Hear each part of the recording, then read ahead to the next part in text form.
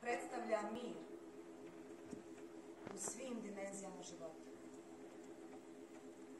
Huzurli insan je ispunjen, spokojan, emotivno i tjelesno zdravo. Takva sam bila i. Barem sam vjerovala da jesam. I tjelesno zdrava i duševno mirna.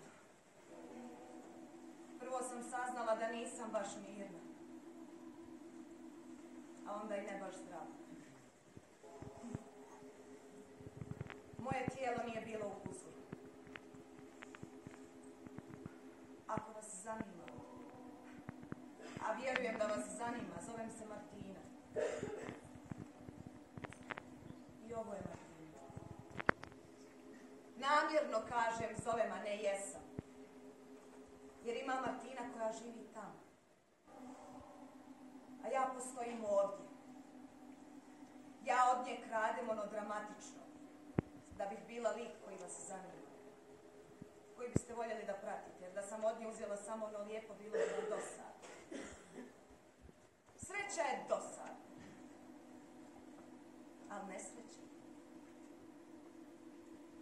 Nesreću svi volimo da gledamo, zar ne?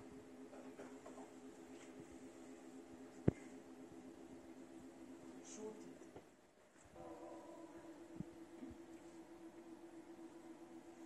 Šutite.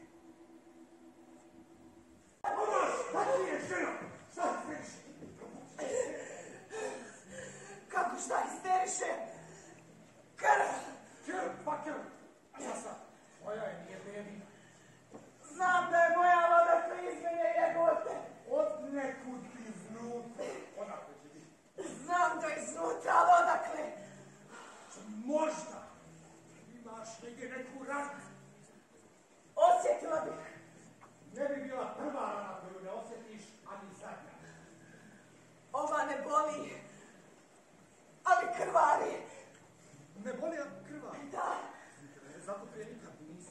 čula, osim kod onih koji ne osjećaju bol. E ti su sretni, jebali, materijalni, fizički ne boli.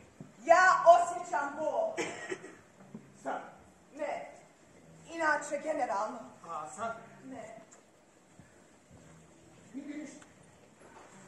Nigdje ništa. Baš nigdje ništa.